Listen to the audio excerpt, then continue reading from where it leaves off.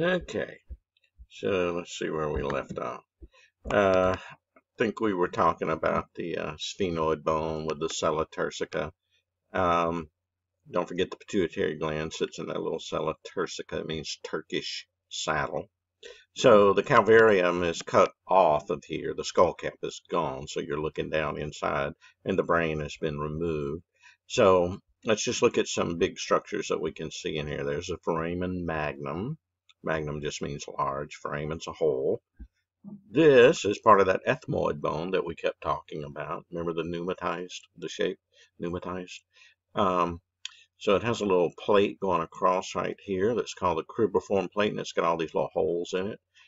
And your olfactory bulb, you know, for cranial nerve 1, uh, is sitting on either side here, and it's got little protrusions that go down into there, and you have, you know, olfactory receptors down in your nasal cavity. Um, so that's what goes through those holes.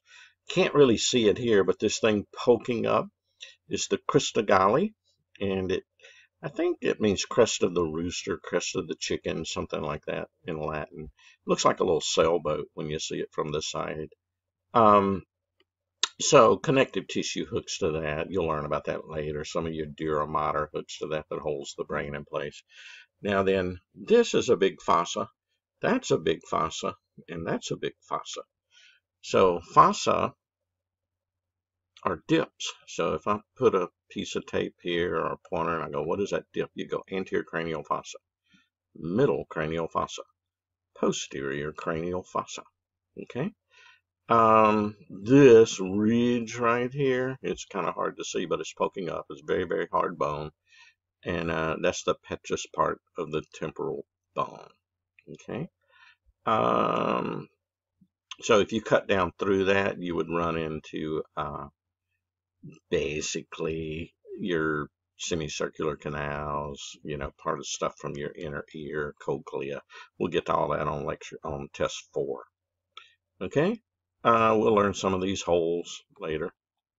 Okay, but right now, don't forget the big guy, foramen magnum. All right, so here we flipped him over, and we're looking from underneath here. And so there you can see the foramen magnum again, and these two big knuckles on either side of it are occipital condyles. So your first vertebra, uh, these sit on your first vertebra. Your first vertebra being the atlas, that's C1, cervical 1. All right. Oh, by the way, look, you can see the palatine bones and the little protrusions right there. If you go into the screen, that would go up to the orbit there and up to the orbit there. Remember, Palatine's part of your orbit. Uh, some more important holes. You have this carotid canal. You know, your, your uh, carotid artery, internal carotid goes through there. You have this jugular foramen for the jugular vein. Um, and if you notice, the carotid canal is all within the temporal bone. The jugular foramen is kind of a area where the occipital bone and the temporal bone didn't quite fuse. So it leaves kind of like this oblong. It's not a real good circle like the carotid canal is. Uh, so it's a lot bigger and it's a little more posterior. So that's the jugular foramen. That's the carotid canal. So don't get those two confused. Got them on both sides, right? Okay. Now, this is your frontal bone. Remember, when you're infant or fetus, it's two bones and then they completely fuse. Um, usually you don't even see a little line there. They call that the metopic suture. That's uh, one of the names it had once upon a time. First they called it the frontal suture, but the students were getting it all confused because, well, it's not going in a frontal plane. The coronal suture is going in a in a frontal plane. So they call this uh, metopic to avoid any confusion. But lately in your book, in the eighth and ninth editions, I think they've gone back to calling it the frontal suture. Um, in most people, it's not even there. You probably can't even find it um, because it just fuses so completely. It just becomes one bone. Okay. Um, but I have seen it on skulls. Uh, this is uh, basically a mid-sagittal cut and I want you to pay attention to the um, spaces here. So that's a frontal sinus. This is sphenoid sinus, sphenoidal sinus. You can't see the maxillary sinuses because uh, you're cut down the middle. The maxillary sinuses are lateral, you know, they're kind of over these molars on either side. Uh, but this hollow area, these hollow areas in your in your bone here, it makes this whole skull lighter.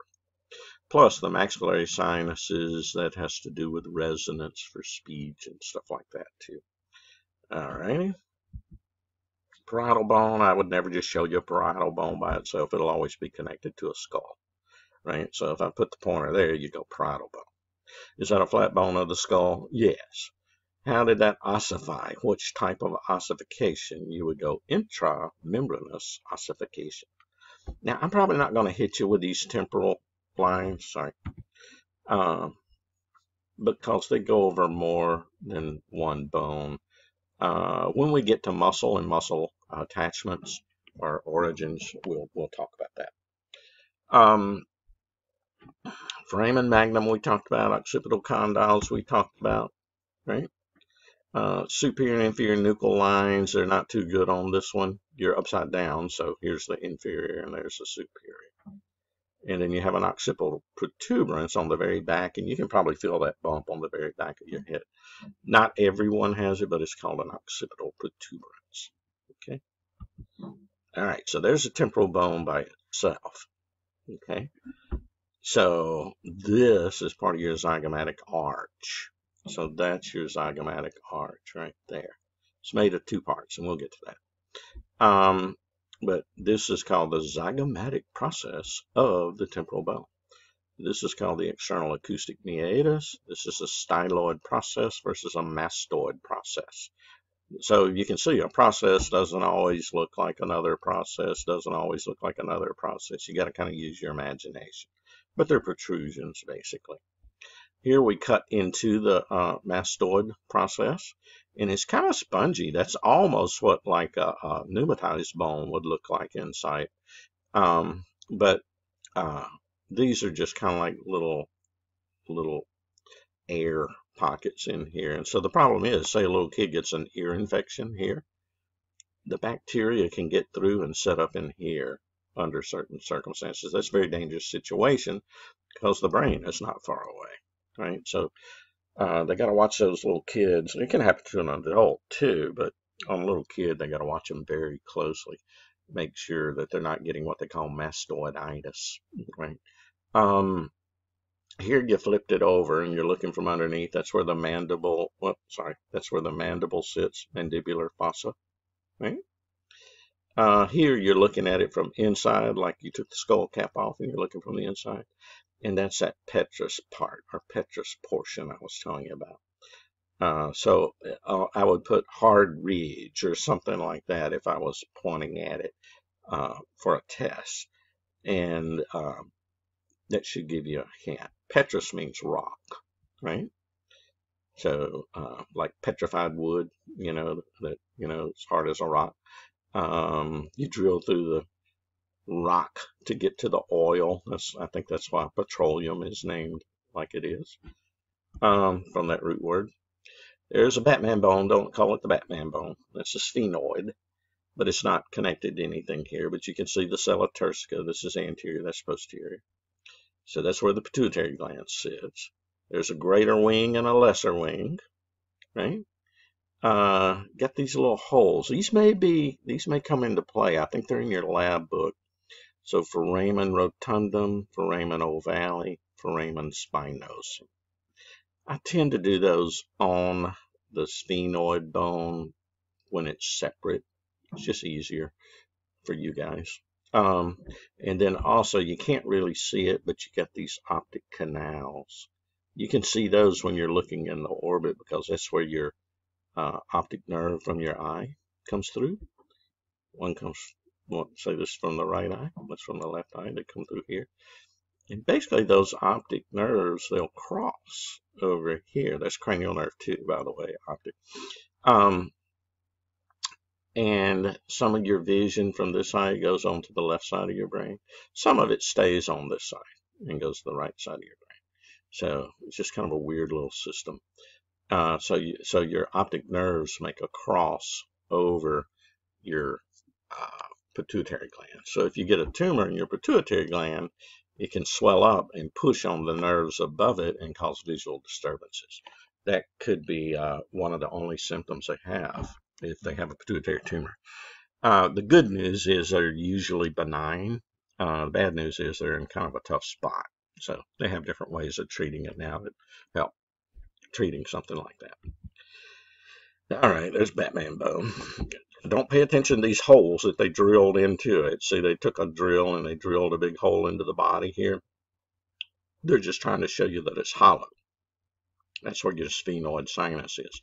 But this is nice because you can see the uh, lesser wing and you can see the greater wing. And then you can see the superior orbital fissure. Remember us pointing that out inside the orbit? Yeah. A fissure is like a long linear opening. Okay. And then these feet that are hanging down are called pterygoid processes. And you're not going to need to know medial plate and lateral plate, whatever. Um, I could just point at the whole thing and draw a circle around it. They did, like they did here. And you go pterygoid process. Pterygoid, I looked it up in Latin, it means wing. So I guess because this whole bone has wings. Uh, but to me, these look more like feet, right? Anyway, they're called pterygoid. The P is silent. Don't go pterygoid. Pterygoid process. Probably that uh, dinosaur bone, the pterodactyl, remember? It's probably from that same root word if you watch Jurassic Park. I think they had one on there. Um, here's your ethmoid. Remember, this guy is a pneumatized bone. That P is silent there, too. So, in real life, this guy is really fragile. So there's the cribriform plate I was telling you about. There's the crista galli I was telling you about that looks like a little crest of a rooster. To me, it looks more like this is it from the side. It looks more like a sailboat sail to me. Right? Uh, there's your perpendicular plate hanging down. Don't confuse perpendicular plate with the cribriform plate. Cribriform plate's going horizontally. Perpendicular plate's going up and down. And this doesn't have holes in it. This is just a plate, right? So don't pay too much attention to these guys. Uh, I guess I've done them as a bonus, but that's a concha. You know, like a conch shell in the that you find on the beach, you know, put it to your ear and you can hear the ocean. I think it's from the, you know, same root word. So these are little swirly looking bones on either side. So when you breathe in, they kind of, the air goes through these little grooves here and it swirls the air around, warms it, humidifies it. There's also an inferior nasal concha. So it's three on each side, one, two, and then it would be one down here that's coming off the maxilla. Uh, but you can't see that here. Okay. So there's our, I love these questions, zygomatic arch. What two things make up the zygomatic arch? The zygomatic process of the temporal bone, temporal process of the zygomatic bone, just those little protrusions, right? Oh, there's your nasolacrimal groove. You can kind of see it. Your tears flow through there. There's your maxilla, right? I probably should give you infraorbital foramen, but I wouldn't do it unless it's like a super bonus. but now this mental foramen, that's fair game for sure. That's that's fair game. Uh, on the other side of this mandible will be something called a mandibular foramen. Also, that's fair game. All right, let's look at hard palate. What two things this you're above it you're looking down? So there's your palatine bones, right? There's your maxillary uh, palatal processes of your maxilla, right? So you got one on each side. So all of this. So a palatal process of your maxilla and the palatine bone, that makes up that side of that hard palate. Okay. Um, can you get a cleft if these don't fuse completely? Yeah, you can get what they call a cleft palate in development. In other words, when they're coming across this way and this way, when you're developing, they may not meet in the middle and fuse. And so you, you might can end up with a cleft palate. You know, sometimes that happens on, you know, little kids. They can repair them later, and they, they're getting better and better techniques at doing that. Um, vomer, remember the perpendicular plate of the ethmoid and the vomer make up the nasal septum. Okay?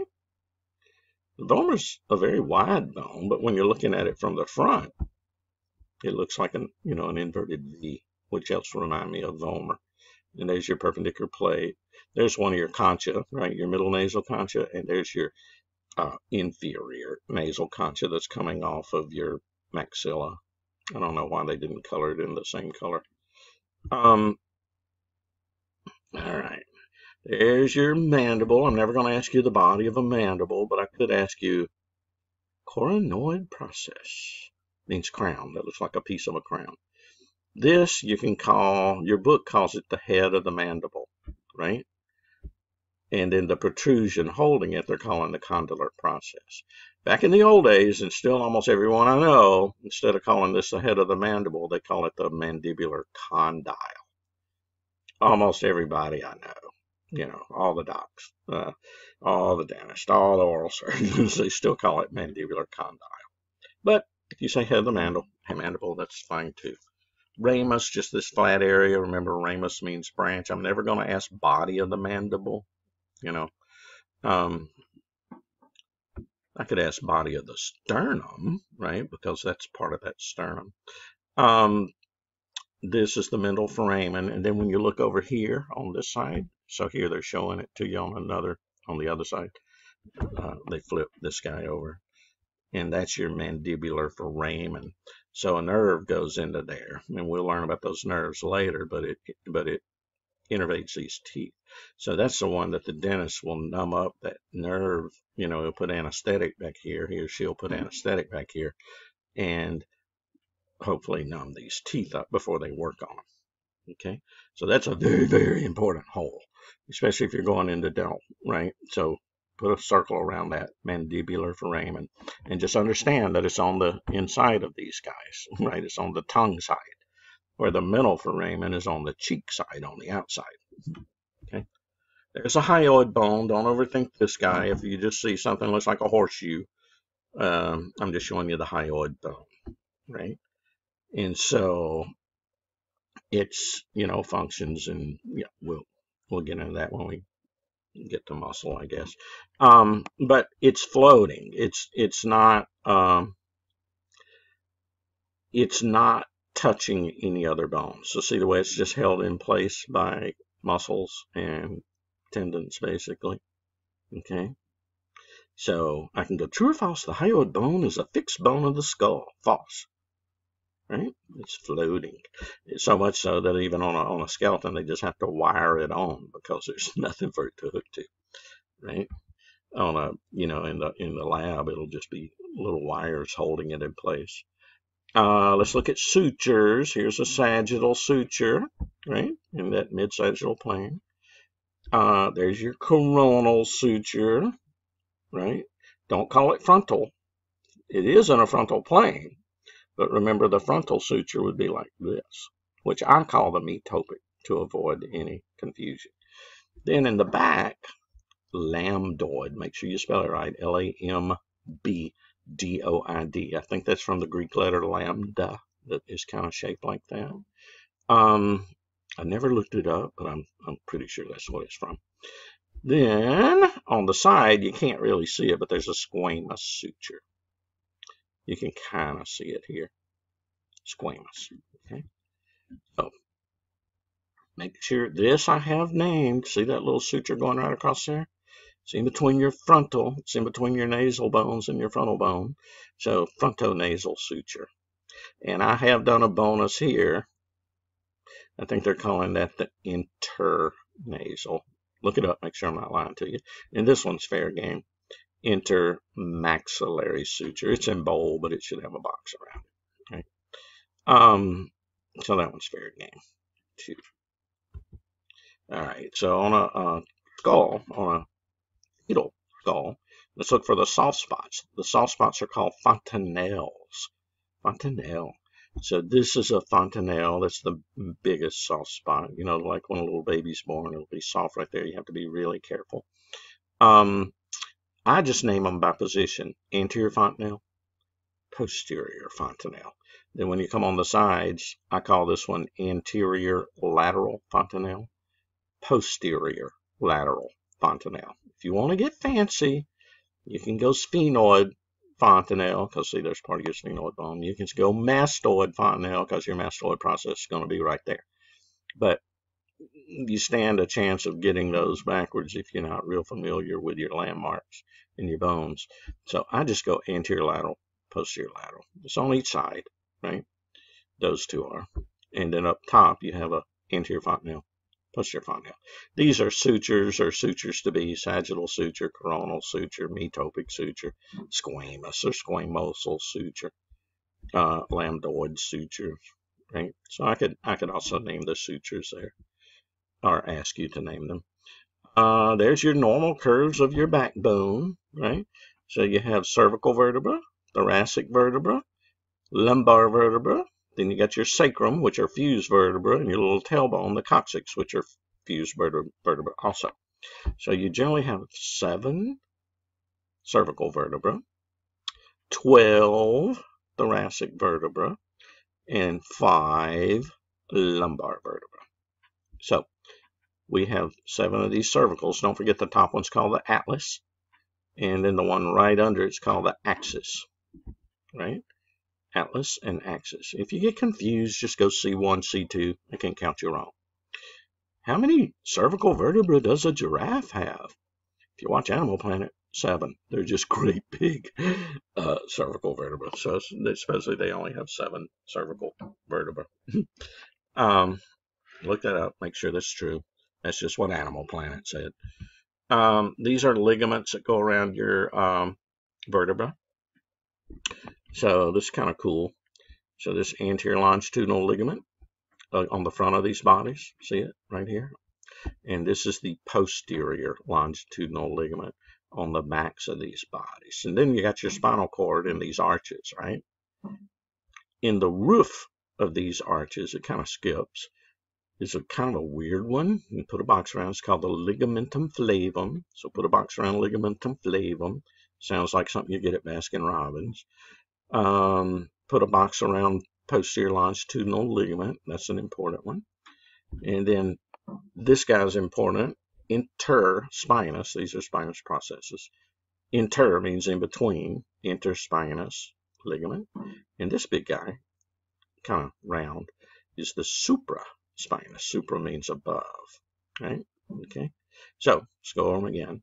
Anterior longitudinal ligament, posterior longitudinal ligament, ligamentum flavum, interspinous ligament, supraspinous ligament. Now these are important. You know, they they probably got some good elastic fibers in them, but they're pretty sturdy because you don't want these things to shift too much. That's why the these intervertebral uh, joints are amphiarthrosis. They don't move a lot, and because you don't want them to, because you're trying to protect the spinal cord here, right? Um, this is a lumbar vertebra. Just look at the big parts, the vertebral body. That's the big part. They also call that the centrum, C-E-N-T-R-U-M. Mainly that's the orthopedic surgeons that call it that. Um, I just say vertebral body. It's easier. Uh, this is your vertebral foramen. That's where your spinal cord goes. Right? That's your spinous process. This is your transverse process, transverse processes here. They're poking out to the side. And then this is coming up at you. It's kind of hard to see, but it's called a superior, uh, well, Oh, this is the inferior view. Never mind. So this is below. Um, so this is an inferior articular process with a facet. And on the other side, so there's your superior articular process. And it has a flat spot on the other side called a facet. And here's your inferior articular process. And on this area right here, it's flat where it's rubbing on another one. And that's uh, a facet. You know the way a diamond has facets facets are flat spots. So uh, that's why you got to be careful and see. They're they're talking inferior view here. It almost confused me. You know, it's very hard to tell sometimes when you're looking at a at a drawing. It's much easier if we were in the lab. So this is one of those things you got to pay attention to. Make sure you know what's the top and what's the bottom. Okay, so there's your transverse process coming at you. There's a superior articular process going up inferior articular process with a facet on it going down. there's a spinous process. So a student came to me years and years ago, uh, about 15 years ago, and said, Greg, look at this. Uh, this looks like a moose. it kind of does. It looks like the nose, and you got the little ears or antlers or whatever poking out here. It, it does kind of look like a moose, right? And then she showed me um, a thoracic one. She goes, and this one looks like a giraffe. See the nose? And I said, I'll be darned, it does. Um, so the thoracic ones are uh, they look like a giraffe. And then my students, even though they knew that, they would still keep mixing it up. They knew it looked, one was a giraffe and one was a moose, but they couldn't remember lumbar versus thoracic. So I made up a saying. It's kind of stupid, but it works. You know the way you tend to get a slipped disc sometimes, and it's usually down low in your vertebral um, column. Um, then I go, the moose is loose in the lumbar region. right? It, you know, it just helped them remember it. The moose is loose in the lumbar region, like if you had a slip disc way down low. And then I, on the giraffe, the giraffe lives in Thoracic Park. You know, it's kind of a play on Jurassic Park. And then they never mixed them up. So anyway, the giraffe is thoracic. The moose is lumbar. Okay. So remember those things we just talked about? all those processes in the body and the vertebral foramen, and all that good stuff. You got the exact same stuff on the thoracic vertebra. You still got a spinous process. You still got a body. You still got superior articular processes with facets, inferior articular processes with facets. You've got transverse processes, but you have a facet there too. And you also have some new facets here that we don't have on the vertebra because ribs are rubbing these facets. So that whole head of one rib is sitting kind of in between two vertebrae here. So it's rubbing a half of a facet here, and on the one above it is rubbing a half of a facet there, if it's in that, you know, place.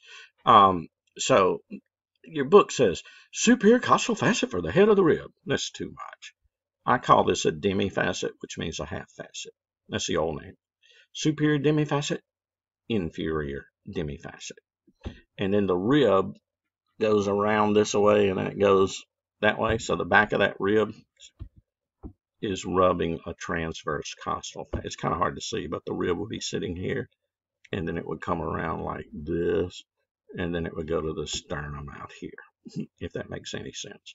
Uh, I think I have it on another picture to show you. But the back of that rib is rubbing a transverse costal facet here, and the back of this rib on the other side is rubbing a transverse costal facet there. So I can go true or false.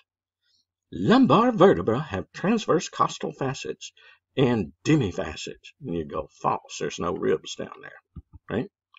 Uh, see, no demifacet here. No transverse costal facets. Now, let's look at cervical vertebra.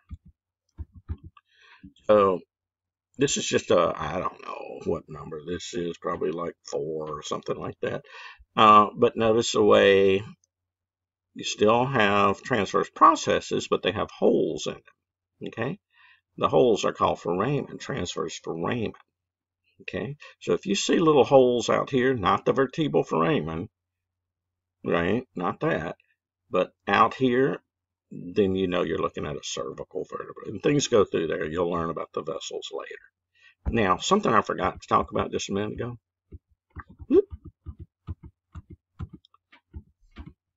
If you look here, this is an arch, right? It's made up of four things. This is called a pedicle, which means foot or base, and that's called a pedicle. That's called a lamina, and that's called a lamina. So pedicle, lamina, lamina, pedicle. That makes up your arch, right? So in the lab, I generally would just wrap a pipe cleaner around this and go, what is that? And you go, lamina. I'd wrap it around here and I go, what is that? And you go, pedicle. I go, what is that hole? You go, vertebral foramen. Now, when you're reading your book, don't confuse the vertebral foramen with something they call the intervertebral foramen. So you can't really see it here, but say this is sitting on another vertebra right here. It's kind of a fake hole. See this notch? So now it kind of gets closed off because it's got another one of these guys below it. And your sp a spinal nerve comes out of here. It's not a real foramen, but they call them intervertebral foramen because when the column is all together, they look like holes. See? See them there? And then nerves, you know, come out of there. So don't confuse the vertebral foramen with the intervertebral foramen. Okay? Same thing here. Okay. Um, what's left? On the atlas, you can see how that's that's the one that your skull is sitting on. I'm not going to even make you know top from bottom, front from back on this guy. Well, front and back's pretty easy to figure out. Um, but um, this is anterior here. Um, so this is the way it sits. And you can see that's anterior. This is posterior. Um, but do you still have uh, transverse foramina? Yeah. Foramina is plural. Foramen is singular. Do you still have a vertebral foramen? Yeah. Then you look at the axis. You see it's got the little thing poking up. That's like an almost like an axle. That's uh, called the DENS. D-E-N-S. So that's uh, basically what this, you know, remember this a pivot joint, so it pivots around this dens. Uh, yeah, you do have a little ligament here. I don't know if I don't know if that's in your lab book or not. Uh, that transverse ligament, um, you know, holds it in place.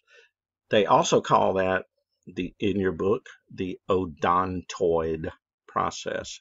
O D O N T O I D. Um, and both those, dens and odontoid, mean tooth, you know, like dentition. Um, so it's, it's like a tooth-like process. I say dens because it's a lot easier. Okay. Uh, Atlas and Axis, I generally just call them C1 and C2. That way you never get mixed up. Okay. And then uh, vertebra prominens. What is that? Some people, C7, the process, you know, the spinous process will poke way out and you can see it, especially a lot of times on females, you can see it because it's not quite as much muscle sometimes over this region. Uh, and so it will be very prominent, and that's called the vertebra prominens. It's not on everybody, right? And that ligament, uh, we'll get to ligaments later, another lecture, that goes from here all the way up to the external occipital protuberance. They call the ligamentum nuchae Nuchae, N-U-C-H-A-E, means neck. Don't worry, we'll get to that later. It's the supraspinous ligament. It's just got its own name right there. All righty, almost done. Sacrum.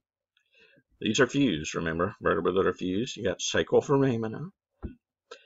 You got a median sacral crest going down the back. There's a tunnel going under here that's called the sacral canal things go through there. We'll talk about that when we get to neuro.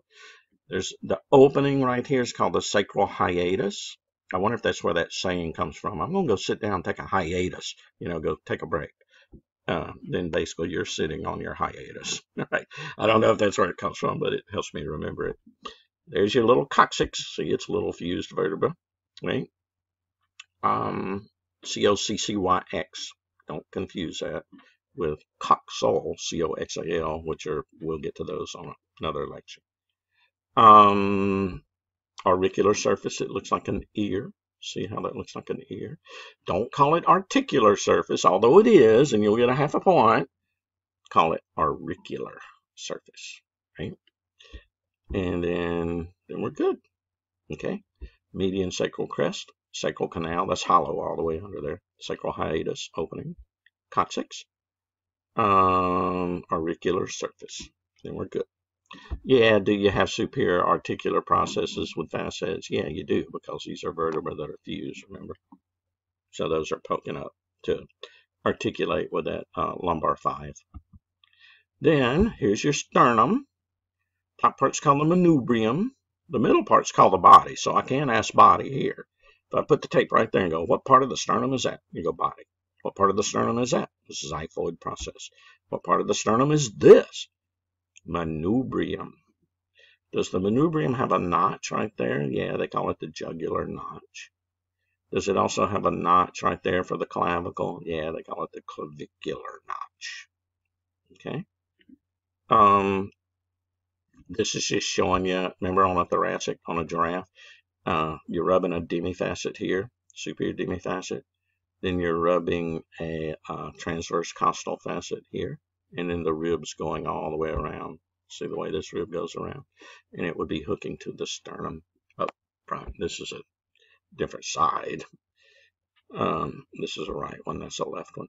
Um, so I love the way they name things on a rib. Head, neck, tubercle, groove. I mean, that's about as simple as it gets. And this end is the sternal end. So this is a vertebral end, the head is. And this is the sternal end. And these are usually pretty smooth right here because they're, they're hooked to that cartilage. Okay, see the way it's hooked to cartilage. So the, you got 12 ribs on one side and on the other. So the first uh, the ribs 1 through 7 are called true ribs, and 8 through 12 are called false ribs. Of those false ribs, 11 and 12 are floating, so they're not hooked to cartilage at all. They're just floating. Why do they call them true and false? Well, that's because on the true ones, the cartilage is hooking from the rib straight to the sternum, rib to the sternum, rib to the sternum, rib straight to the sternum. That's why they're called true false is kind of weird It's because the cartilage is hooked to more cartilage that's then hooked to the sternum. So in other words, you got the rib hooked to cartilage, that cartilage is hooked to more cartilage, which is hooked to the sternum. Where up here, the cartilage just hooks straight from the rib to the sternum. That's why they're called true and false. Okay. Um, we did those ligaments already. That's a herniated disc in the lumbar where I said you you know you can slip a disc they call it um, sometimes um, and it's pushing on that nerve see these are intervertebral foramen here hmm? and so that can cause pain or problems right so what a normal disc you have this pulpy stuff in the middle it's called nucleus pulposus in the middle it's almost like a jelly filled donut kind of thing. And then the connective tissue going around and around and around. See the collagen fibers going around. Annulus fibrosus. They're fibers. And annulus, probably know that word like the earth goes around the sun annually from the same root word. There's your uh, palatine bone we talked about. There's your median palatine suture we talked about. Uh, on the front would be the intermaxillary suture. This is the median palatine suture. Right? And then we're done. All right, we went a little bit longer than 30 minutes, but we're good. Okay, so I'll shut this down and I'll uh, record it and put it up on YouTube for you. Okay.